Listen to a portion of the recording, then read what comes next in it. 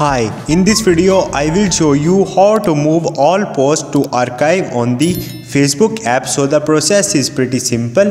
First of all open your Facebook application and after that click on these three lines on the right top. Once you will click on it you will see page like this. You have to click on the settings and the privacy from the bottom and after that you have to click on the settings button once you will tap on it now scroll up and search for the activity log. Tap on it. Now click on the manage activity. Now you have to click on the your posts. Now you have to click on the all on the left top